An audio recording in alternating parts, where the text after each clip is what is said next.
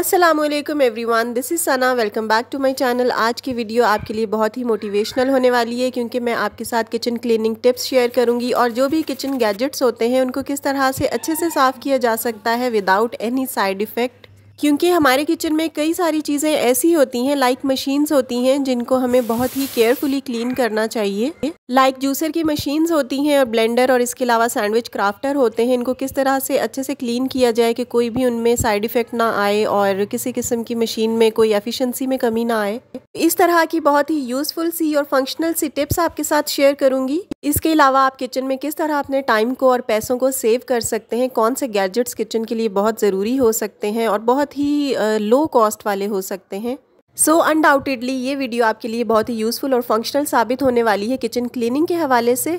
अच्छा आज ना मेरी तबीयत थोड़ी सी ख़राब थी और मुझे दो दिन से बुखार है और खांसी नज़ला बस इन चीज़ों का ऑनसेट है आजकल क्योंकि मौसम वेदर चेंज हो रहा है और इन चीज़ों ने सबको ही अपनी लपेट में लिया हुआ है। लाइक फ्लू और थ्रोट इन्फेक्शन ये सारे आजकल बड़े कॉमन हो रहे हैं ड्यू टू वेदर चेंज इसलिए आज के व्लॉग में मेरी आवाज़ आपको थोड़ी सी डिफरेंट लग रही होगी स्पेशली आज के व्लॉग में because I am suffering from all these conditions like flu cough and fever और मुझे ना एक्चुअली ये व्लॉग कल अपलोड करना था, यानी यस्टरडे और मेरी तबीयत ख़राब थी और आवाज़ उस पर काफ़ी चेंज थी, इसलिए मैं नहीं कर पाई। लेकिन आज मैंने सोचा कि आज भी मेरी आवाज़ में कोई खातिर ख्वाह चेंजिंग नहीं आई मतलब आवाज़ अभी भी स्टिल मेरी ख़राब ही है। सो so, मैंने ये सोचा कि आज व्लॉग अपलोड कर ही देना चाहिए क्योंकि आवाज़ तो मेरी और एक दो दिन शायद ऐसी रहे तो मैं कब तक अपना ये काम लेके पेंडिंग रहूँगी। So to be more productive I start cleaning and making vlog because today I was feeling quite better than yesterday तो ब्लेंडर को और दूसरी मशीन्स को साफ़ करने से पहले काउंटर का साफ़ होना बहुत ज़रूरी है। ये क्लियर होगा तभी कोई काम यहाँ पर अच्छे से हो पाएगा। तो यहाँ पर मैं सब्ज़ियाँ लेकर आई हुई थी इनको मैंने जगह पे रखने के लिए काउंटर पे रखा। ग्रीन चिली काफ़ी ज़्यादा थी तो इसकी डंडियाँ मैंने निकाल दी थी क्योंकि ये मॉइस्चर एब्जॉर्ब करती हैं और इस तरह जल्दी ख़राब होने का डर होता है तो इनको मैं ऐसे एक बॉक्स के अंदर, ये डिस्पोजेबल बॉक्सेस आते हैं जो भी हमने कुछ ऑर्डर कभी किया हो या किसी बाहर के खाने के साथ आते हैं तो इनको मैं अच्छे से साफ़ करके सेव कर लेती हूँ क्योंकि काफ़ी ये यूज़फुल हो सकते हैं तो इनके अंदर मैं मिर्चें वगैरह इस तरह से रख देती हूँ और इस तरह एक हफ़्ते तक मिर्चें आपकी फ्रेश रहती हैं। अच्छा यहाँ पर ना मैंने सारी वेजिटेबल्स अपनी वॉश करके फ्रिज में रख दी थी और उसके बाद मैंने अपनी क्लीनिंग स्टार्ट की थी, जो भी मैंने मशीन साफ़ करनी थी। फ़र्स्ट ऑफ़ ऑल मैंने ये ब्लेंडर की मशीन को साफ़ करना था। ये बहुत ही गंदी हुई हुई थी।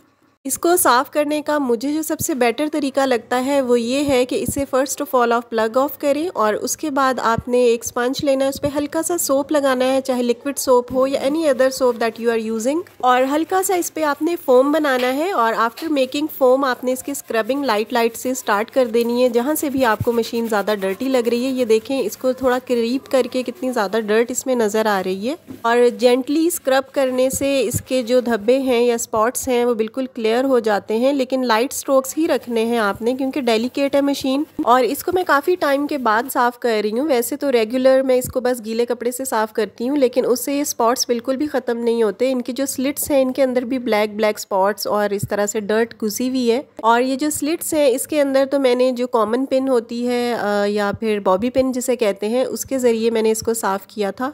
अभी आगे जाके वो क्लिप आपको नज़र आएगा, और इसकी मशीन्स को भी आपने बिल्कुल ज़्यादा वेट बिल्कुल भी नहीं होने होने देना, बस लाइट सा रखना है। और इस तरह देखें, इस पिन की मदद से मैंने इसको जो अंदरूनी इसके पार्ट थे, उनको बहुत ही लाइट स्ट्रोक्स के साथ मैंने साफ़ किया है। क्योंकि अभी मौसम ऐसा गुजरा है ह्यूमिडिटी वाला तो ये चीज़ें जब गीली होती हैं तो गीली रहती हैं और काफ़ी टाइम तक गीली रहती हैं, जिसकी वजह से इनमें फंगस टाइप की कोई चीज़ लग रही थी मुझे। इस वजह से मैंने इसकी अच्छे से क्लीनिंग की है। और एट दी एंड आपने इसकी तार को भी गीले कपड़े से अच्छे से साफ़ कर लेना है। And this is the final look of my blender machine ये देखें कितनी अच्छे से ये साफ़ हो गई है और ये बिल्कुल सेफ़ मेथड है। बिल्कुल आपकी मशीन को किसी किस्म का नुकसान नहीं होगा, कोई भी हार्म नहीं होगा। बस इस तरह से आपने जेंटली इसे साफ़ करना है और एंड पे आपने गीला कपड़ा इसके ऊपर फेर देना है। एंड पे मैंने इस मशीन के जग को और इसकी जो ड्राई मिल होती है, उसको भी मैंने साफ़ कर लिया था। स्पेशली इसके जो नीचे वाला मशीन होती है, इसको भी आपने इसी तरह केयरफुली ड्राई करके और इसे साफ़ करना है। ये बहुत ही सिंपल और सेफ़ मेथड है for cleaning your machines machine को साफ़ करने के बाद इसे ड्राई होने के लिए छोड़ दें थोड़ी देर के लिए और उससे पहले इसमें कुछ भी आपने ब्लेंड नहीं करना। मैंने यहाँ पर काफ़ी देर के लिए मशीन को ड्राई होने के लिए छोड़ दिया था और उसके बाद मेरे पास ये ग्रीन चिली काफ़ी ज़्यादा आई हुई थी और मुझे डर था कि ये पड़े पड़े ख़राब हो जाएँगी और ये दूसरे वाले बॉक्स की चिलीज़ हैं जो अभी मैंने रखी थी वो न्यू हैं और ये मेरे पास काफ़ी पुरानी पड़ी हुई हैं। आई I मीन mean, इनको रखे हुए छः से सात दिन हो चुके हैं तो मैंने सोचा इनको ब्लेंड करके फ्रीज़र में रख देती हूँ ताकि काफ़ी टाइम तक मैं इसे यूज़ कर सकूँ। और थोड़ा सा मैंने इसमें पानी ऐड किया और फिर मैंने इसे ब्लेंड किया। ये देखें माशाल्लाह, बिल्कुल ठीक ठाक जूसर मशीन हमारी चल रही है। सॉरी, ब्लेंडर है जो हमारा, वो चल रहा है और इसकी मशीन को कोई भी इफ़ेक्ट नहीं हुआ। बस आपने इसको कोशिश करनी है कि गीला बिल्कुल नहीं रखना और जो कपड़ा है वो भी आपने बहुत ज़्यादा वेट यूज़ नहीं करना और जो स्पंज है सोपी स्पंज उसको भी आपने ज़्यादा वेट इस पर यूज़ नहीं करना। बस इन सिंपल से टिप्स को फॉलो करके आप अपनी ब्लेंडर मशीन्स को या any other machine that you are having in your kitchen आप उनको अच्छे से साफ़ कर सकते हैं और उनकी एफिशिएंसी को अच्छे से बरकरार रखा जा सकता है। And now moving to the cleaning of sandwich maker same इसी तरह से आपने सैंडविच मेकर को भी क्लीन करना है। अगेन आपने स्पंज को हल्का सा वेट करना है, उसके ऊपर हल्का सा लिक्विड सोप लगाना है और उसको थोड़ा सा फोमी करके आपने इसके ऊपर स्क्रब करना है लाइट स्ट्रोक्स के साथ और अंदर भी आप इसे कर सकते हैं। बट बी केयरफुल कि आपने इसको ज़्यादा वेट नहीं होने देना और आपने मशीन को प्लग ऑफ़ किया हुआ है। अच्छा एट दी एंड आपने कपड़े को गीला करना है लाइट सा ही गीला करना है, उसे अच्छे से निचोड़ लेना है आपने और उसके बाद आपने इसे लाइटर स्ट्रोक्स के साथ इसके ऊपर आपने फेर देना है और आपकी मशीन बिल्कुल साफ़ सुथरी हो जाएँगी। अच्छा जी, यहाँ पर मैं आपको दिखा रही हूँ कि जो भी हमारे शॉपिंग बैग्स होते हैं, क्योंकि हमने थैलियाँ या शॉपर तो घर में और किचन में ज़रूर रखने होते हैं और ये आती भी हैं बार बार यूज़ में आती हैं ये चीज़ें। इनकी स्टोरेज के लिए ये एक बड़ी अच्छी सी मुझे गैजेट लगा था किचन के लिए और ये बहुत ही रीज़नेबल प्राइस में मिल जाता है किसी भी स्टोर से, किसी भी